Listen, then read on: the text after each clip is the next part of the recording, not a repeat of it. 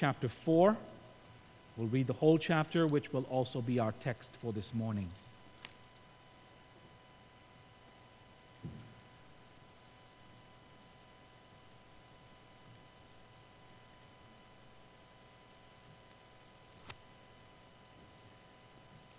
So we've been uh, following the story. We know that uh, Naomi has come back to Bethlehem with her daughter in law Ruth, having lost to death her uh, husband and two sons. They have come back in abject poverty, both widows, and uh, to make matters worse, Ruth being a, uh, uh a non Israelite of who would be considered a heathen or a pagan in that nation. Um, they have been found in a very desperate situation. Naomi even calls herself bitter, but the Lord is faithful. We've seen that again and again in the story, and uh, He has brought Boaz into their lives, and we left off with the uh, the proposition we said of Ruth to Boaz to marry her and be their kinsman redeemer. And uh, we'll see how things unfold and how the story ends marvelously this morning. Ruth chapter 4. Now Boaz went up to the gate and sat down there. And behold, the close relative of whom Boaz had spoken came by. So Boaz said, Come aside, friend, sit down here.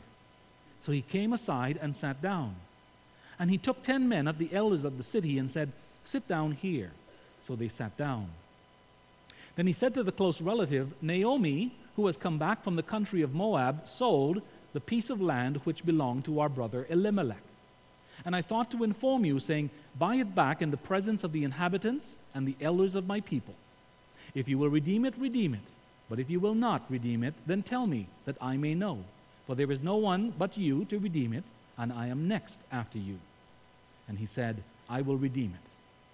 Then Boaz said, On the day you buy the field from the hand of Naomi, you must also buy it from Ruth the Moabitess, the wife of the dead, to perpetuate the name of the dead through his inheritance. And the close relative said, I cannot redeem it for myself, lest I ruin my own inheritance. You redeem my right of redemption for yourself, for I cannot redeem it. Now, this was the custom in former times in Israel concerning redeeming and exchanging. To confirm anything, one man took off his sandal and gave it to the other, and this was a confirmation in Israel. Therefore, the close relative said to Boaz, Buy it for yourself. So he took off his sandal. And Boaz said to the elders and all the people, You are witnesses this day that I have bought all that was Elimelech's and all that was Chilion's and Machlon's from the hand of Naomi. Moreover, Ruth the Moabitess, the widow of Mahlon, I have acquired as my wife to perpetuate the name of the dead through his inheritance, that the name of the dead may not be cut off from among his brethren and from his position at the gate. You are witnesses this day. And all the people who were at the gate and the elders said, We are witnesses. The Lord make the woman who is coming to your house like Rachel and Leah, the two who built the house of Israel, and may you prosper in Ephrathah and be famous in Bethlehem. May your house be like the house of Perez whom Tamar bore to Judah, because of the offspring which the Lord will give you from this young woman. So Boaz took Ruth, and she became his wife. And when he went into her, the Lord gave her conception, and she bore a son. Then the women said to Naomi, Blessed be the Lord, who has not left you this day without a close relative, and may his name be famous in Israel. And may he be to you a restorer of life and a nourisher of your old age for your daughter in law, who loves you, who is better to you than seven sons, has borne him. Then Naomi took the child and laid him on her bosom and became a nurse to him. Also, the neighbor women gave him a name, saying, There is a son born to Naomi. And they called his name Obed. He is the father of Jesse, the father of David. Now, this is the genealogy of Perez. Perez begot Hezron, Hezron begot Ram, and Ram begot Amminadab. Amminadab begot Nahshon, and Nahshon begot Salmon. Salmon begot Boaz, and Boaz begot Obed. Obed begot Jesse, and Jesse begot David. Our song of preparation is number 323, O Little Town of Bethlehem. We've been uh, studying about and being, uh, having it recalled to our minds over and over about this all happening in Bethlehem, the house of bread. And so let's uh, sing number 323. Let's rise to sing all the four stanzas, O little town of Bethlehem.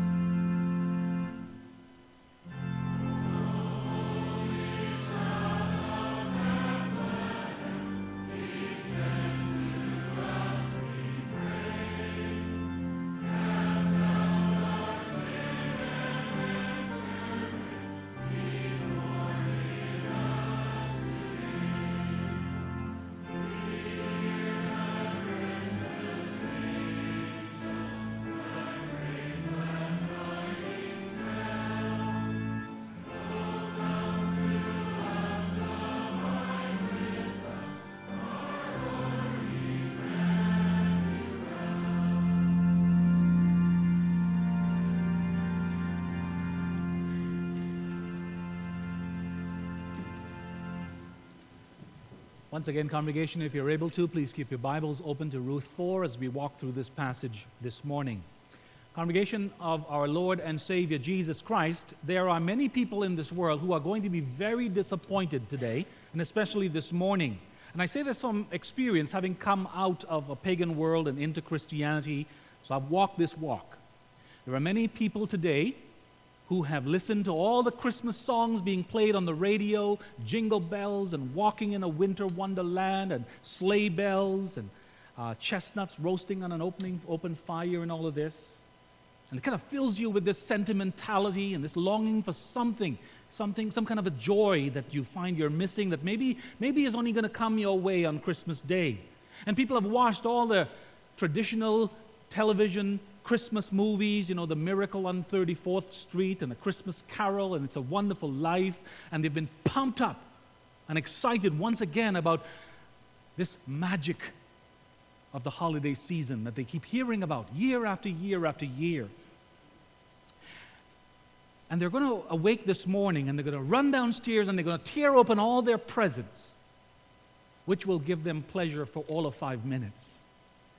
And then there's going to come that hollowness, that emptiness. Where is this Christmas magic that we heard about and we look forward to? Where is the joy that we were promised? Where is the joy that we were supposed to experience today? And so, once again, they'll try to drown out the disappointment in Granddad's special eggnog and hope that maybe the Boxing Day specials, the sales, will fill the void and, congregation, but for the grace of God, and only by the grace of God, we would be in the, in the same cycle of despair. It is by His grace, by His mercy and compassion, that we instead woke up this morning not thinking about the presents under the tree or the money that we'll get from grandma or the new waffle maker that we want to try out. By God's grace, our thoughts were turned to a little town in ancient Judea where many years ago the Savior of the world was born. Our hearts, by God's grace again, our hearts were filled with joy at the thought of what this meant for the world. This was the Savior who would bring us redemption, uh, salvation. And our joy this morning is not modeled after a rejuvenated Ebenezer Scrooge, but after a restored widow one, we're talking about Naomi here, who was lifted to the heights of joy, who was before plunged into helplessness and hopelessness. Now, we said at the beginning of this series that Naomi and Ruth are pictures of the church, the people of God, in the sense that they are miserable, they're wretched, they're helpless, they're in need of redemption, just like us.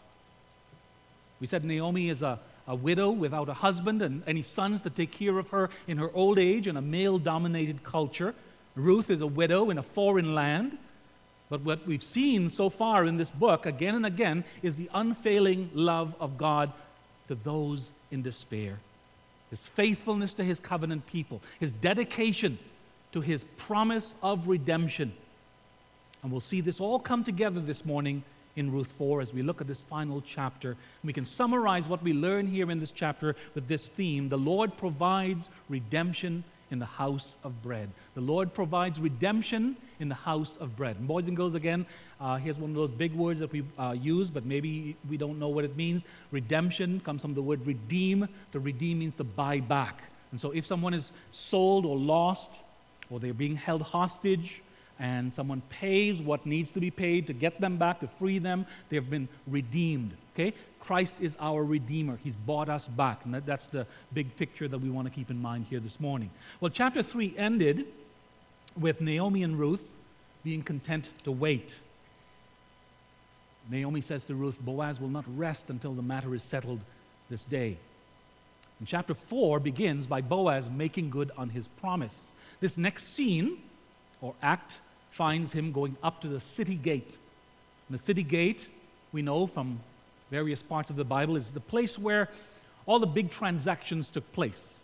At the city gates uh, sat the elders of the city, the most respected men of the city, the wise ones of the city, and who they witnessed the changing of hands when it came to land and other business and social activities all took place in the presence of the elders at the gate. Here is where Boaz sat, waiting for the other close relative, the other kinsman redeemer, the Goel, we've said in the Hebrew. Waiting for him to pass by. And pass by he did. The sense of the Hebrew is that he was not planning to sit down at the city gate. He was on his way to do his own business. And here again, as we've said, we get a glimpse into the character of this other kinsman redeemer. There's not a hint of any concern, and it's not by accident that the inspired writer states it this way, but there is not a hint of any concern on his part for his two widowed relatives one an old woman, one a foreigner. He had no concern that an Israelite family, one of his own relatives, was about to be erased from the nation of Israel. And so, no wonder the inspired writer does not even extend to him the courtesy of naming him. Our, our NKJVs is very nice and polite, and they have Boaz addressing him as friend. The, the Hebrew doesn't say that. The Hebrew actually uses a slang term that might be translated whatever, whoever, so and so. Now, Boaz, of course, would have known this man's name and addressed him as such, but the writer, the inspired writer, deliberately withholds this man's name, in a sense, drawing a line through it. Ironically, he who had no concern for Elimelech's name ends up without a name himself.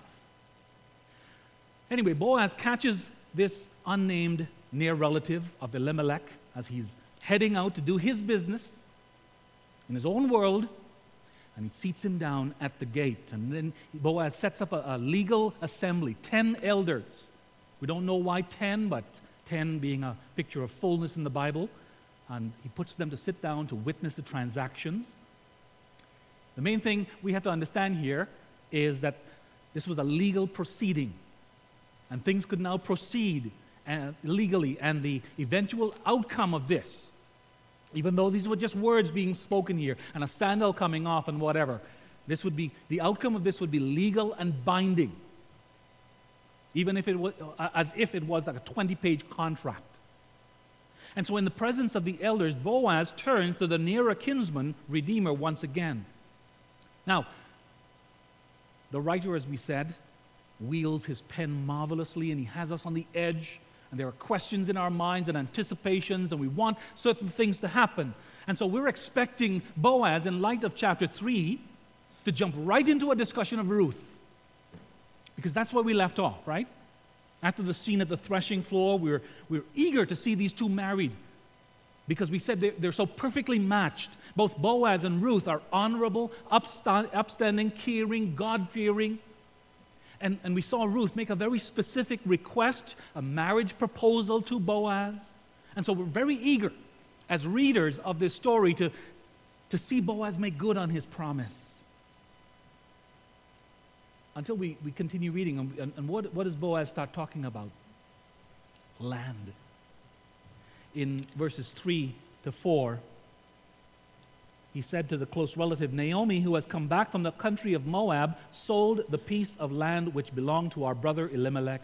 And I thought to inform you, saying, Buy it back in the presence of the inhabitants and the elders of my people. If you will redeem it, redeem it. But if you will not redeem it, then tell me that I may know, for there is no one but you to redeem it, and I am next after you. Now, in these words, some new light is shed on the situation.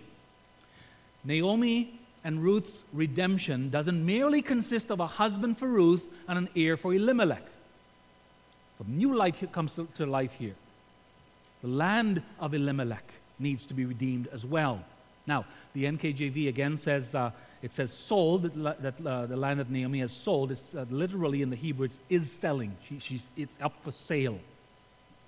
And so Boaz here is taking care of of this land that belonged really to his relative Elimelech. And in a sense, he's, he's interested in the complete welfare of Naomi and Ruth. Now, apparently, Naomi still owned the land of Elimelech, but was in no position to work it. She was old, we've said, and she was penniless. And according to Old Testament law, the nearest relative was obligated to help them in this situation. You could hear, um, there are many passages where this is talked about, but um, we'll read specifically Leviticus 25, verse 25 here. And this is the instruction that God gave to his people through Moses. If one of your brethren becomes poor and has sold some of his possession, and if his redeeming relative comes to redeem it, then he may redeem what his brother sold. So, in Old Testament times, we have to understand, first of all, let's paint the picture here. In Old Testament times, land was not an insignificant thing, it was critically important to everyone. A man's land was a sign that he belonged to the covenant people of God. Today we can buy and sell land, means nothing, has no sentimental value to us. In Old Testament times, when Israel lived in the land of Canaan, the former land of Canaan, owning land was a sign that they belonged to the covenant people of God. This was the inheritance that God gave to his people when he brought them across the river Jordan into the land of Canaan. And he drove out the pagan nations from before them, and he says, This land I allot to you, this land I give to you, to the families of the 12 tribes of Israel. And the land was given to them with the understanding that it was to remain with them, remain their possession permanently. There were even times like the, the day of Jubilee and so on, where even if you had lost your land, you could get it back and so on, because it always had to remain in your family's possession. Just one example of how serious people took this. Think of uh, Naboth. Remember when uh, Naboth, boys and girls, King Ahab come, came to him? He says, Sell me your vineyard, um, and uh, I'll pay you you know, quite lavishly for it or whatever. What was Naboth's response to King Ahab? He said, The Lord forbid that I should give you the inheritance of my fathers. So land was very, very important. It was tied to your relationship with God. And so not only was Naomi in need of a redeemer to carry on the name of her husband, she needed one to secure his land as well to make sure that Elimelech's land was not lost and given into somebody else's hands. And so Boaz begins with the land. Naomi needs to sell this land. And he sees it as his duty to bring it to the attention to the nearer relative of Naomi's intentions. And up to now, We've been just waiting for, for Boaz and, and uh, for, for it to be announced that Boaz and Ruth are going to be married and live happy ever, happily ever after. And then we hear this very disappointing response from the nearer kinsman redeemer. Don't want to hear it, but he says, I will redeem it. Now, why does he say so quickly, I will redeem it? Because in his mind, now his wheels are turning, things are clicking, and this, in his mind, was a good investment. Can't lose here. Financially, buying this land is an investment without any risk. There were, there were no heirs to Elimelech. Elimelech is dead, his sons are dead. Nobody is going to come along at some point and reclaim this property. It's going to be mine, mine, mine. Even the year of Jubilee, at which time land reverted to the original owners, was no threat because there would be no original owners alive anyway to which the land could go back. And so this was a steal of a deal in his mind. A small investment now, enlarge my own inheritance, and ching ching, productive, profitable harvests, money, money, money. His unnamed relative was a classic example of a man who believed in dollars, not deeds. And he was about to show his colors. In verses 5 and 6, we read Then Boaz said, On the day you buy the field from the hand of Naomi, you must also buy it from Ruth the Moabitess, the wife of the dead, to perpetuate the name of the dead through his inheritance. And the close relative said, I cannot redeem it for myself, lest I ruin my own inheritance. You redeem my right of redemption for yourself, for I cannot redeem it. Now, let's be clear on one thing. Technically, there was no Old Testament law that stated that the one who redeems the property of a relative was obligated to also marry his widow. The Mosaic law, and we saw this in Deuteronomy 25 last time, applied to brothers living together and involved the raising up of an heir for a dead brother. The law of Leviticus 25 applied to pulling a relative out of financial hardship so that he wouldn't lose his land. Technically, these were two very separate laws. But seeing that the nearer relative raises no objections, we have to conclude that customs existed in that time that obligated him to do this. These were not legal but moral obligations. They were voluntary, but at the same time binding and legal. As Boaz demonstrated in chapter 2, the law of God was never meant to spell out every single principle and application. God's people were never meant to rest with the bare minimum, just the letter of the law. They were to seek ways to apply this law to their lives for the good of their fellow man. In this case, redeeming Naomi meant more than merely buying her land. It meant also restoring her husband's name. Now, normally, the Redeemer would buy the land, he would marry the widow, he would take care of the land, and then hand it over to the first son born to them as a couple. Here's a funny twist on this Ruth the, the Moabitess is acquired here. Now, again, um, the NKJV talks about buying and buying from Ruth. It, it says uh, literally in the Hebrew that uh, Ruth the Moabitess will be acquired. When you buy this land, you acquire Ruth the Moabitess. She's referred to by Boaz here as the wife of the dead. The wife of the dead. What, in the world is going on here? Well, Boaz is clarifying the mat, uh, all the matters here. Naomi cannot fulfill the duty of bearing a child to carry out or carry on her husband's name, but there's someone who can her daughter in law, Ruth. And so, if we were to paraphrase, put in our own words, what Boaz is saying here to the nearer kinsman redeemer, it would sound something like this Listen, on the day you redeem the land from Naomi, you also require Ruth, the widow of Elimelech's son, and you are then entitled, you have to, you're obligated to raise up a son, an heir for Elimelech. In other words, Ruth is going to serve as a stand in, a substitute for Naomi. She will do for Naomi what Naomi is, what is impossible for Naomi to do for herself. And in this way, the name of Elimelech would be perpetuated, says the NKJV. The, the Hebrew says resurrected or raised up. The name of Elimelech would be raised up and continued. And you see, as we've said, without an heir, the name of Elimelech would at some point cease to exist. His name and his family would disappear. But Ruth would fix that. She would bear a son to continue Elimelech's name and she would thereby secure his land, his inheritance forever.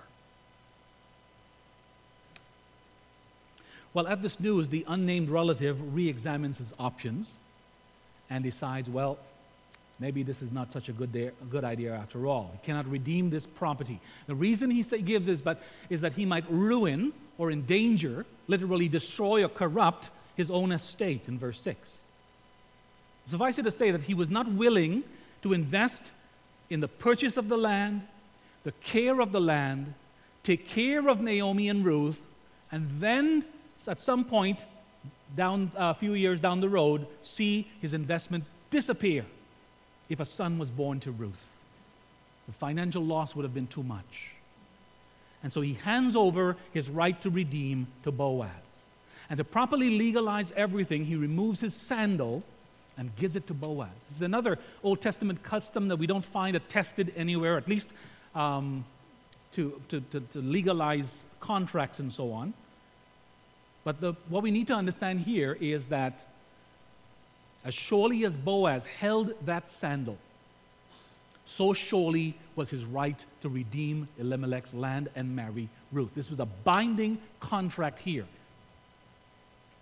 Was, there also seemed to be the matter of of stating exactly what was bought and announcing your intentions, which Boaz does. And then there was the final legalizing of the transaction, where the elders announce that they are witnesses and they then bless Ruth and Boaz. And what a blessing they give to Ruth and Boaz. They compare Ruth, in fact, to Rachel and Leah, Jacob's wives, who together built up the house of Israel. In other words, their blessing was for the womb of Ruth to be fruitful. And let's not miss the comparison of Ruth to Tamar. Tamar, like Ruth, was a foreigner. And yet she, like Ruth, honored the name of the dead, making great personal sacrifice to continue the line of Judah. And she too is called righteous. Well, in verses 13 and following, the scene now again switches from promises made at the gate to promises fulfilled. Boaz, true to his word, marries Ruth, and the Lord blesses them with a son. And now Naomi returns to the spotlight. The widow who had rema- who renamed herself bitter, who saw herself afflicted by God, who said that I had gone away full and come back empty, at least in her opinion at that time. We now read this of her, verses 14 to 15. Then the women said to Naomi, Blessed be the Lord who has not left you this day without a close relative, and may his name be famous in Israel. And may he be to you a restorer of life and a nourisher of your old age, for your daughter in law, who loves you, who is better to you than seven sons, has borne him.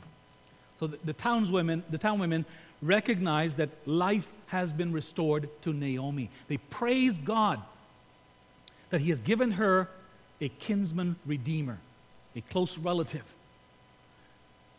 Who is this re- redeemer that, that Naomi has been given? Well, the women announce it. Your daughter in law, who is better to you, to you than seven sons, has borne him. And so Naomi's redeemer is the child, the son born to Ruth. Ruth Ruth's child was reckoned to, as Naomi's son. And the inspired writer records that this boy child is placed on Naomi's bosom, symbolizing that he was now her husband's legitimate heir, and she cared for him. And the women of the town named him Obed. Obed in the Hebrew means servant. Well named because he would fulfill the role of servant to his grandmother in her old age, and he would even serve his dead grandfather by carrying on his grandfather's name. And so the Lord had provided redemption for Naomi in Bethlehem, the house of bread. And the last image we get here is of Naomi holding her grandson. She held and she cared for this tiny baby born to be her Redeemer. And as soon as we say that, our minds leap forward into history to a young girl named Mary in the same little town named Bethlehem. And she too held and cared for a baby who would grow up to be not only her Redeemer, but the Redeemer of the world. In Matthew 1, we find the genealogy of Jesus. And uh, listen to verse, just, we're not going to read the whole thing, just verses 5 to 7 and then verse 16. We read in Matthew 1 5 to 7 Salmon begot Boaz by Rahab, Boaz begot Obed by Ruth, Obed begot Jesse, Jesse begot David the king, David the king begot Solomon by her, who had been wife of Uriah. Solomon begot Rehoboam, Rehoboam begot Abijah, and Abijah begot Asa. And it goes on down the line till we come to verse 16. We read, And Jacob begot Joseph, the husband of Mary, of whom was born Jesus, who is called Christ. And so Obed was not the end of the story. He was not the end goal, as it were. He was the continuation. God was working, bringing about his greater purpose. He intervened even in the, the evil days of the judges to bring a righteous woman and man together Boaz and Ruth provide the continuation, the perpetuation of a covenant family in Israel. But in the process, God was preserving the bloodline that would eventually produce Christ Jesus, the Redeemer of sinners. The genealogy in Ruth 4 ends with David, son of Jesse of Bethlehem. But in Matthew 1, we see the continuation of that bloodline all through Old Testament history. And when the time had fully come, God's greater Son, the Lord Jesus Christ, would be born. Once again, the Lord would provide redemption in Bethlehem, the house of bread.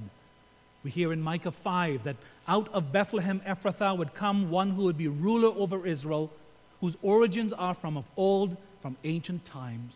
The Son of God, who existed ex- eternally with the Father, would come. He would be made flesh to redeem the people walking in darkness. In Isaiah 9, we heard that he should be called the Son of God, mighty counselor, Prince of Peace, This is the one who came into the world. He came to be our Redeemer. He would come to secure our inheritance. And what's our inheritance? The new heavens and new earth. And to make us heirs of God's kingdom, to make us children of the living God, to make sure that our names do not disappear from the earth. And in the town of David, Bethlehem, the house of bread, the Savior would be born, who is Christ the Lord. He would come not to relieve us merely from physical poverty, but spiritual misery. Paul writes to Titus in chapter 2, verse 14, that Jesus gave himself for us to redeem us from all wickedness and to purify for himself a people that are his very own. He writes to the Ephesians in chapter 1, verse 7, that in Christ we have redemption through his blood, the forgiveness of sins. This is what we celebrate on this Christmas morning. That God blessed us with the gift of the promised Redeemer. When we were sold in sin, in bondage to the dominion of darkness, wretched and miserable, without hope, strangers and aliens to God, our Redeemer came, born of a woman, born under law, to redeem those under the law. And, congregation, may this good news, these glad tidings, be our comfort and joy this morning on this Christmas day. May the peace and blessing of the Prince of Peace be ours today and always, because the joy that He brings never disappoints and delivers what it promises a joy that is full and enduring. Amen. Let's pray. Heavenly Father, thank you that you have led the church and directed us that we may remember the birth of our Savior Jesus Christ. You have recorded it. You, the, the prophets spoke of it. The apostles connected it to our salvation. And Father, we thank you that we may know this word and believe it and it may give us joy in our hearts and comfort, knowing that if Jesus had not been born into this world, we would remain in our sins. We would be lost. We would have no relationship with you. We would have no hope of being in your kingdom, in the new heavens and the new earth. Thank you for what you have done, for the covenant line that you preserved all through history. Thank you for the Savior, and thank you for giving us faith in Him.